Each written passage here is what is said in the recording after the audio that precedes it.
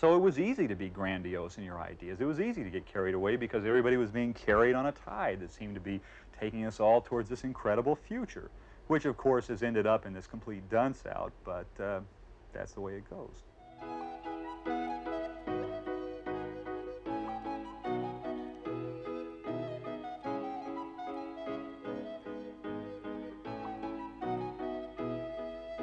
Think the story of Mike Oldfield is probably one of the most extraordinary sagas in all of rock music. I first met him when he was about 16.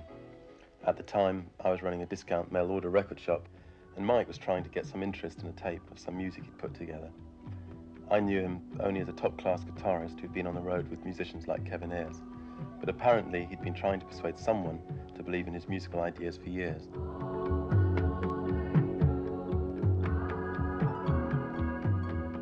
A bit broke at Virgin at that time. But we offered him the use of our sound studio, which was and is uh, in a rather grand house near Oxford called The Manor, and disappeared to work on his tapes.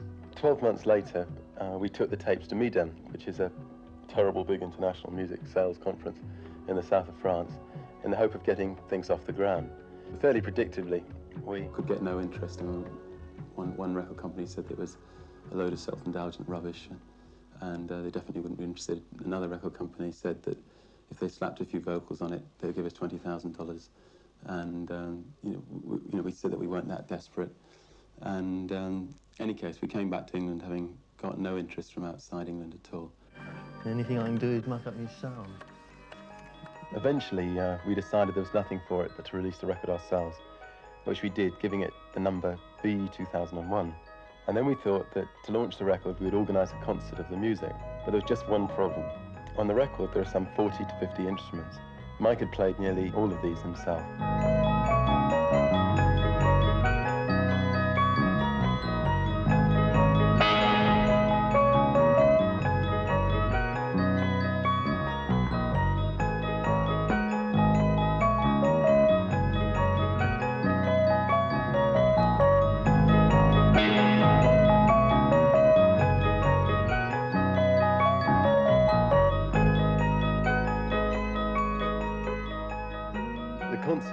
Huge success, and the music, Tubular Bells, with almost no promotion, began to sell faster than we could make copies of it. In fact, the sales were staggering.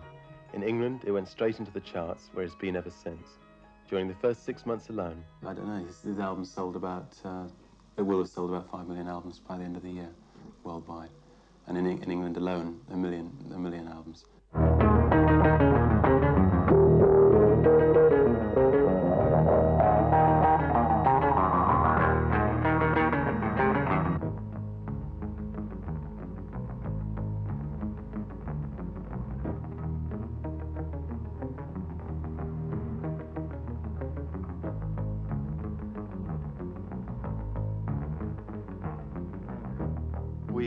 Course, were delighted and immediately began to think of ways of promoting the record in America, Australia, or wherever. But again, there was just one problem. Mike had disappeared. As a result of the concert, it had something of a breakdown and had vanished to his parents' house, apparently to build a duck pond. So we were faced with the nightmare of a number one artist who would not be interviewed, who would not play in public, would not travel, just wanted to sit at home and compose.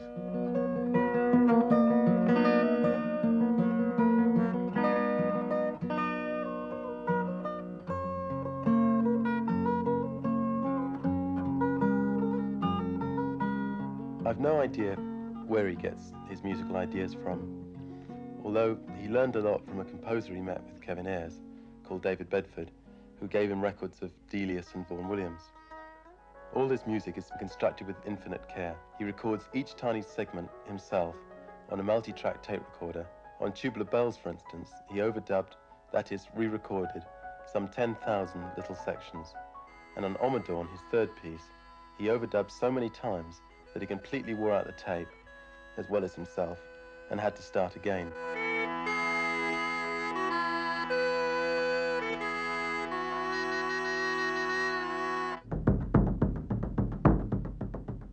Mixer that he's now got, and in which he's recorded the music for his new space movie, has given him slightly greater freedom. You start with a raw sound, going straight into the mixer. Equalise that, maybe so it's a lot brighter. A bit brighter.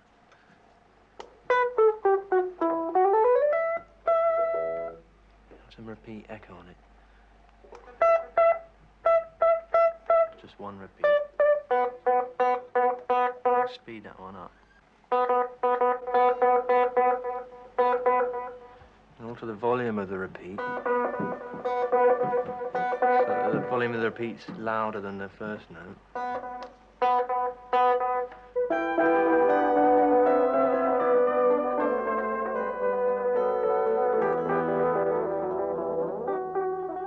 Mike writes out a score, or normally writes out a score, just like any other composer. And then, having recorded the different elements of his music, he just mixes them all together. One piece, which maybe lasts for 40 to 45 minutes, can take him as long as a year.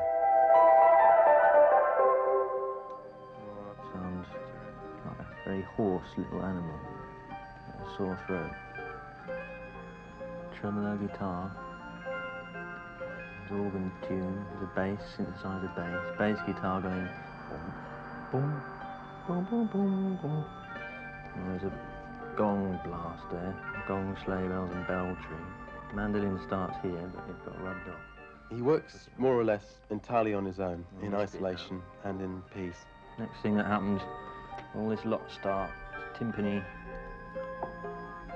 loads of synthesizers, a rattle, claves, three electric guitars, and synthesizers, six of them all going at different times. There's that bit. There should be a dock rattle. I think that got rubbed off too. And yet he has managed to achieve great success in a medium which everyone seems still to think depends on things like oversell and packaging and product and promotion. Much of it does, of course. Most of popular music is like that. The medium really is the message. Could be a gong here playing Bosch. No, it's not there either.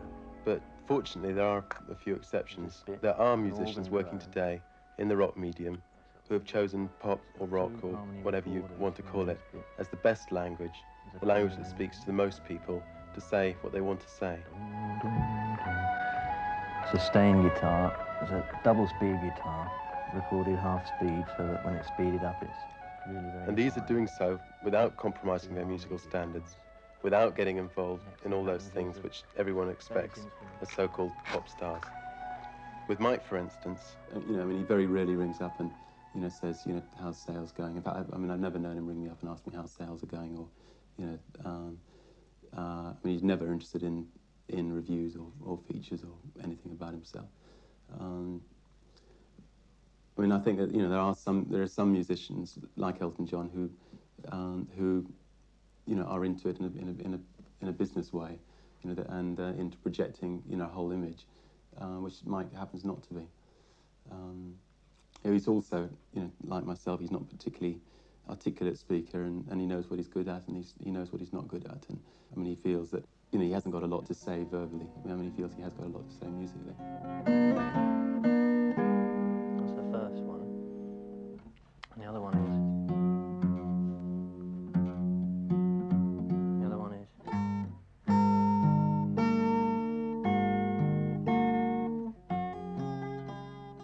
Music may not be as yet that sophisticated, but it's an important beginning. Anyway, I believe that a composer such as Mike Oldfield is among the, the best hopes we have for contemporary popular music.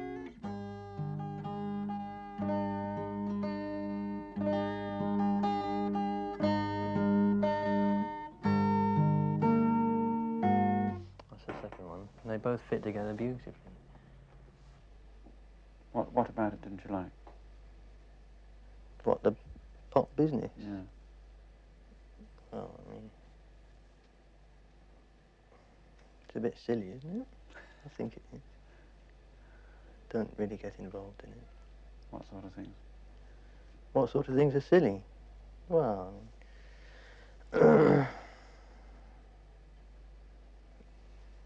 um, I can't pretend at all.